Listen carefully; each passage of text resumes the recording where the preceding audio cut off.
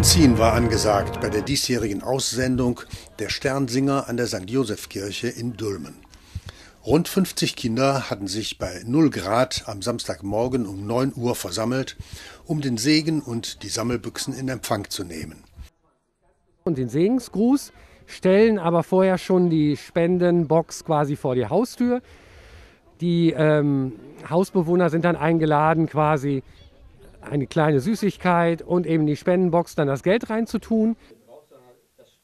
Langweilig soll es in Dülmener Wohnungen im kommenden Winter 2022-23 nicht werden. Mit einem neuen Monopoly-Spiel will Dülmen Marketing für spannende Unterhaltung sorgen. Der besondere Clou, das neue Monopoly-Spiel wird eine Sonderedition nur für Dülmen. Förster Klaus Benze macht einen Routinerundgang durch das Waldgebiet Börnster Alpen. In der Nacht tobte das Orkantief Jelena über Nordrhein-Westfalen mit Sturmböen von bis zu 120 Kilometern pro Stunde. Das macht sich auch im Wald bemerkbar. Also ich habe noch keine Datenzahlen und selber auch noch nichts gesehen. Es wird sicherlich, das ist das, was man aus dem Radio hört, hier und da mal ein Baum umgebrochen sein. Ähm, da wir aber schon inzwischen keine Fichten mehr groß haben im Münsterland aufgrund der Trockenheit, das war immer eine Baumart, die sehr anfällig war, bin ich einfach mal gespannt. Das Kalenderblatt zeigt den 22.02.22. Ein besonderes Datum auf dem Kalender. Das dachten sich auch viele Brautpaare in Dülmen. Gleich elf Paare aus Dülmen und Umgebung waren zum Trauzimmer ins 1a gekommen, um sich das Ja-Wort zu geben. Heute ist ein besonderes Datum, 22.02.2022. Äh, an dem heiraten die Paare halt gerne, genauso wie 8.8.88, 9.9.1999. Das sind wirklich so Daten, die ins Auge fallen. Eine 14 Meter lange und 9 Meter breite Walskulptur können die Besucher ab Samstag in der Heiligkreuzkirche bewundern. Die Walskulptur stammt von dem israelischen Künstler Gil Shachar, der sie von einem gestrandeten Buckelwal anfertigte. Ich habe das äh, geträumt. Ich habe geträumt, dass ich einen Wal abgieße. Das ist, äh, Abguss ist mein Medium sowieso und ähm, die Ideen äh, kommen äh, oft in, äh, ich sehe, ich sehe die, die Skulpturen. Ein Blick ins Regal, solch einen Anblick gab es sonst nur zu Weihnachten. Leere Regale bei Mehl und Zucker. Inhaber Thomas Jacobi freut sich, dass er soeben noch mit einer Palette Mehl beliefert wurde. Denn durch die Hamsterkäufe war der Vorrat bis gestern so gut wie abverkauft. Ja, wie Sie sehen, wir haben heute wieder Mehl bekommen. Äh, Im Moment kriegen wir noch jeden Tag Ware, die aber dann nicht den ganzen Tag hält. Ja? Randsorten leider im Moment gar nicht. Ähm, wir sind froh, dass wir überhaupt noch was anbieten können.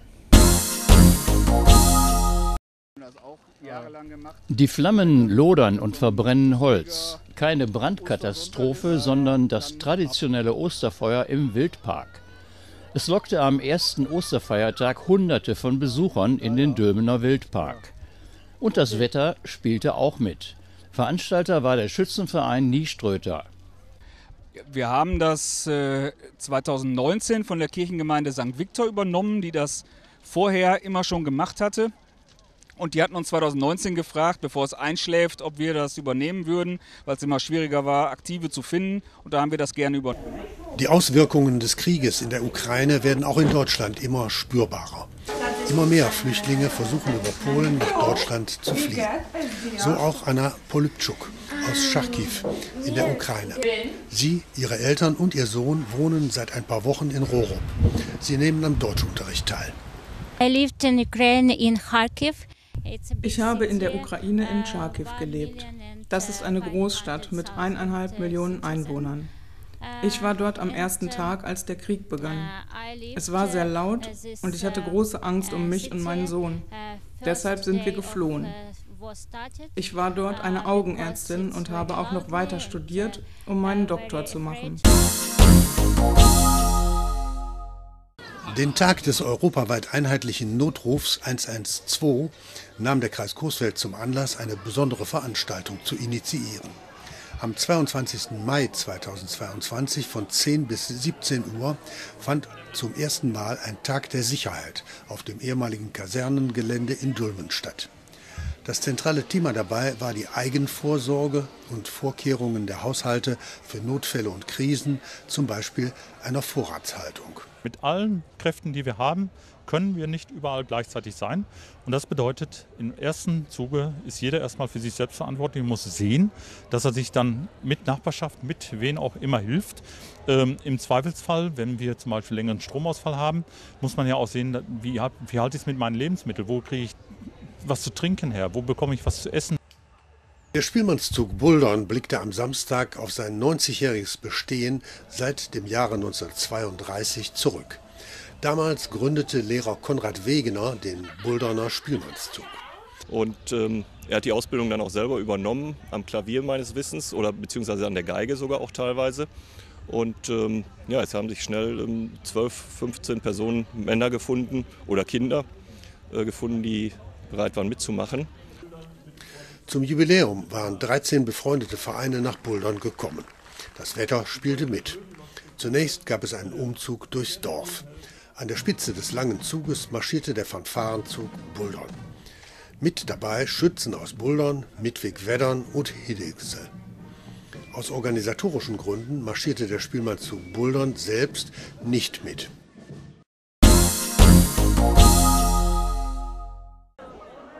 Nicht am Aufgang des Riesenrades, sondern an der Kasse des Disco-Jets hatten sich diesmal die Vertreter der Schausteller von der Stadt Dülmen und der Politik versammelt.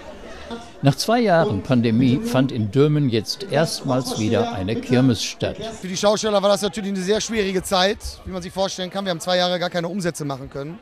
Wir haben natürlich betriebliche Hilfen bekommen vom Staat, die aber den Betrieb von den meisten Kollegen wohl aufrechterhalten haben. Aber halt für die persönliche Ausgabe musste man an die Altersvorsorge gehen. Und wir sind natürlich sehr, sehr froh, dass es jetzt dann wieder losgeht. Die Badausstellung der Firma Elting war am Sonntag, dem 12.06.2022 Anlaufpunkt für Kunstliebhaber. Im Mittelpunkt der Ausstellung stand eine Versteigerung von Kunstobjekten. Dazwischen der Fernsehmoderator Harry Weinfurt, bekannt von der Fernsehshow Der Preis ist heiß. Weinfurt hatte sich spontan bereit erklärt, die Versteigerung zu übernehmen. Harry Weinfurt leitete die Versteigerung souverän. Er kennt sich mit Versteigerungen aus. Ich habe früher schon sehr viele Auktionen gemacht. Ich habe äh, Pferde ver, verauktioniert, und zwar Westernpferde. Ich habe selber gezüchtet und dann haben wir eine Verkaufsplattform gesucht und bei einem Riesenturnier in, äh, in Nordbayern haben wir dann äh, 40 Pferde versteigert. Da bin ich Die Welt steht Kopf, Upside Down, so der Name einer neuen Inszenierung vom Theater Titanic. Am Dienstag präsentierten die SchauspielerInnen eine 360-Grad-Performance unter der Regie von Marie Nandiko und Katrin Alsen. Christian Backhaus kann sich an die herausfordernde Probenarbeit auf der sieben Meter hohen Metallkugel gut erinnern. Also dieses Projekt äh, war sehr, sehr anspruchsvoll, weil äh, sehr viel Planungsarbeit nötig war und sehr viel Ingenieursarbeit äh, auch und baustatische Arbeit. Und natürlich für uns Performer, die normalerweise als Schauspieler immer in Sprechtheater oder halt Titanic üblich schon auch in besonderen Situationen unterwegs sind. Das Theater Titanic in Münster und Leipzig beheimatet, gehört mit seinen spektakulären Projekten und Stadtinszenierungen zu den bedeutendsten Open-Air-Theaterkompanien Europas. Wohin in den Ferien? fragen sich viele Eltern. In Dülmen wird dazu einiges angeboten. Besonders im ländlichen Bereich Dülmens laden verschiedene Reiterhöfe zu Kennenlernen-Aktionen ein. Am Samstag, dem 9. Juli 2022, fand auf dem Hof Wessendorf wieder eine Aktion für Kinder statt, um sich mit einem Pferd vertraut zu machen. Zunächst durften sich die Kinder ein Pferd aussuchen. Natürlich musste die Größe passen. Wir sind hier ein, ein Freizeithof, wir machen also keine Turniere, ne? also nur so, aber auch richtig Schulunterricht dabei. Und wir machen dann eine riesengroße Runde durch den Wald, wo die eventuell auch mal ein bisschen traben können, die Kinder. Hm. Besser konnten die Voraussetzungen für den Kunsthandwerkermarkt in Haus Dülmen nicht sein. Trockenes Wetter und angenehme Temperaturen. Die Ortsgemeinschaft in Haus Dülmen hatte wieder etliche Standbetreiber gewinnen können, darunter auch Stammgäste. Also diesmal sind es 30 äh, Künstlerinnen und Künstler, die hier sind, ganz unterschiedlicher Art. Das Angebot an kunsthandwerklichen Gegenständen war riesengroß. Ob Textil, Skulpturen aus Holz oder Figuren aus Porzellan, für jede und jeden war etwas dabei. Dann formierten sich die Musik- und Schützenvereine zu einem langen Festzug durch die Dülmener Innenstadt. Ein besonderes Highlight war dabei der Marsch durch das Lüdinghauser Tor. Ein besonderes Wahrzeichen der mittelalterlichen Stadtbefestigung von Dülmen.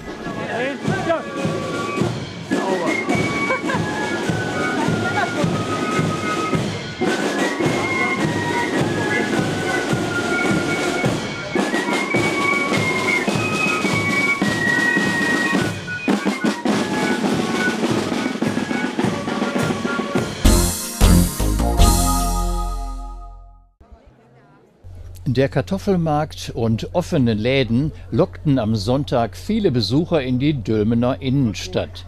Zeitweise ging nichts mehr. Dülmen Marketing hatte eine ganze Reihe von Standbetreibern für den Kartoffelmarkt interessieren können. Im Mittelpunkt standen wieder die Angebote der holländischen Händler. Für musikalische Unterhaltung im Dixieland Sound sorgten die swingenden Gärtner vom Niederrhein.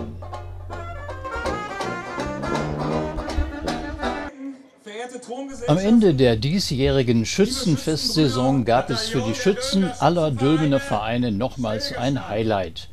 Auf dem Programm stand das Kaiserschützenfest in Börnste. Anschließend formierten sich die Schützen aus 18 Vereinen zum langen Umzug nach Börnste. Für diejenigen, denen der Weg nach Börnste zu weit war, stand ein Bustransfer zur Verfügung. Musikalisch begleitet wurden die Schützen von der Stadtkapelle, dem Perflu-Orchester der Kolpingsfamilie Dülmen, dem Spielmannszug Buldern, dem Musikverein Asbeck und den Blauen Husaren Coesfeld. Nach zweijähriger Corona-Pause war es auf dem Dülmener Marktplatz wieder einmal soweit. Rund 60 Vereine und Institutionen hatten sich beim traditionellen Bürgertreff am 3. Oktober eingefunden. Für die Vereine stand im Vordergrund, sich an den Ständen zu präsentieren und für ihr ehrenamtliches Engagement zu werben. Besonderes Highlight war die Demonstration einer Rettungsschere und die Bergung einer verletzten Person aus einem Fahrzeug am Königsplatz. Diesen Part hatte die Feuerwehr und das DRK übernommen. Die Herzen von Eisenbahnfreunden schlugen am vergangenen Wochenende höher. Der Grund, die Modelleisenbahnfreunde im Bahnhof Buldern hatten eine 90 Meter lange Modelleisenbahnanlage aufgebaut und alle interessierten Besucher eingeladen, sich die Anlage anzuschauen. Die derzeitige Großanlage soll in den nächsten Tagen wieder abgebaut werden, um Platz für etwas Neues zu schaffen. Auf überregionalen Treffen von Modelleisenbahnfreunden wollen sich die Bulderner Anregungen für den Bau einer neuen Anlage im kommenden Jahr holen.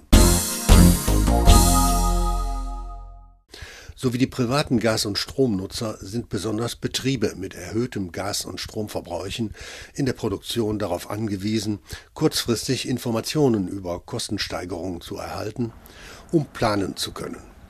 So zum Beispiel die Bäckerei Grote. Für die Backöfen wird Gas als Hauptenergie benötigt. Daneben sind auch die Stromkosten nicht unerheblich. Wir sind die Bäckerei Grote in Dülmen. Äh, wir haben in Dülmen zehn Filialen, äh, alle hier im nahen Umkreis und wir sehen uns als regionaler Versorger im, Backwaren, im Backwarenbereich. Die Energiekosten sind natürlich wahnsinnig im Moment, weil das Bäckerhandwerk halt leider nun mal ein sehr energieintensives ja, Gewerk ist. Man sieht ja hier mit den Öfen, Kühlanlagen, also eigentlich brauchen wir für alle Strom und Gas in ja, sehr großen Mengen. Auch die letzte Aufführung der Dülmener Figurentheatertage war ausverkauft. Auf dem Programm stand ein Figurenspiel der Bühne Zipolla nach Fjodor Dostojewskis Aufzeichnungen aus dem Kellerloch. Äh, es ist eine ähm, Adaption zu Dostoevsky und äh, ich finde es ganz wichtig, dass Literatur die Chance hat, lebendig zu werden. Im Mittelpunkt des Spiels stand ein namenloser Beamter, der mit Hilfe einer kleinen Erbschaft sein Dasein im Keller fristet. Er wird im Spiel in verschiedenen Facetten gezeigt. Dostojewski beschreibt ihn als bösartig, verkommen und hässlich, aber hochgebildet. Figurenspieler Sebastian Kautz und sein für die Musik zuständiger Partner Gero John haben in zweijähriger Vorbereitungszeit Spielvorlagen aus dem Roman entwickelt. So voll war die Eisfläche noch nie. Die Überdachung zahlte sich bereits bei Eröffnung des Dülmener Winters aus, denn die Regenschauer blieben draußen. Philipp Böckmann moderierte die Eröffnung des Dülmener Winters auf der Eisbahn. Als Highlight für die Kinder gab es einen Lampion-Umzug mit dem Nikolaus.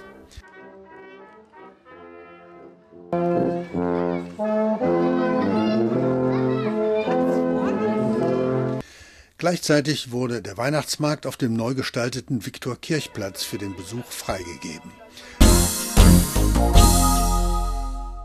Trotz eisiger Temperaturen am Freitagvormittag. Der Grund, das Fahrradparkhaus, ein weiterer Bauabschnitt am Dülmener Bahnhof, ist fertiggestellt. Bürgermeister Carsten Hövekamp, Mitarbeitende der Stadt Dülmen, der Politik und Vertreter der beauftragten Firmen hatten sich zur Freigabe eingefunden. Stadtplaner Philipp Scholz erläuterte die Anzahl der Stellplätze und gab Hinweise zur Nutzung des Fahrradparkhauses. Wir haben das Fahrradparkhaus vor 14 Tagen äh, eröffnet und es wird auch schon ganz gut angenommen. Wie man sieht, stehen hier also schon etliche Fahrräder. Insgesamt können hier ca. 700 Fahrräder abgestellt werden.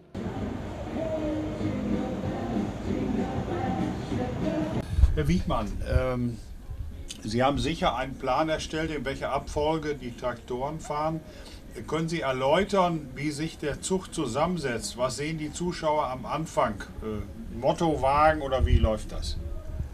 Ja, genau. Also äh, eigentlich vergleichbar zu den Vorjahren. Äh, die Besonderheit in diesem Jahr ist, dass der Kindergarten in Meerfeld das erste Fahrzeug äh, gestaltet hat und äh, da sozusagen ein ein Rentier mit einem Schlitten auf so einem Anhänger äh, gebaut wurde. Äh, der wird entsprechend beleuchtet und musikalisch unterstützt. Also ich glaube, das ist so, zumindest hier für die Meerfelder, die Attraktion, wo die, wo die lange drauf hingefiebert haben und äh, wo die Kinder mit Herzblut viele Tage dran gearbeitet haben.